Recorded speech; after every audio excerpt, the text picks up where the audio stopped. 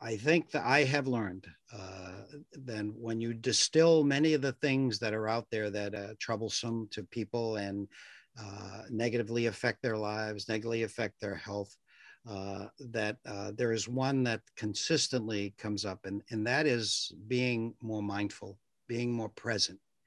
We spend our days and our with our minds turning and rushing around, thinking of our to-do list and the future and the past, and worrying when uh, most of that, you know, and we miss what's going on in our life because we, we're doing that. Uh, it creates stress. Uh, stress is causing huge amounts of, uh, of, of, health care costs.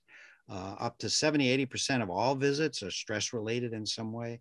We're not built for that stress. Our hunter gatherer ancestors were not built for that kind of chronic stress and it uh, it destroys relationships it destroys uh, it creates wars it uh, it uh, it, uh, it, it, diminishes the quality of life and uh, if we can just find a way that every day at least for a short time even if it's just seconds at first where we're truly in the present just as an example, I ask an artist, uh, you know, what happens when you draw? What happens to time?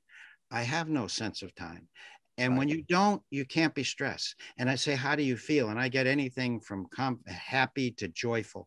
And so, something, you know, when it is there, you know, if it's with a pet or it's with a book or it's in nature or it's meditating, find uh, just, I would have everybody working up to, even if it's just minutes a day, because that makes all the difference.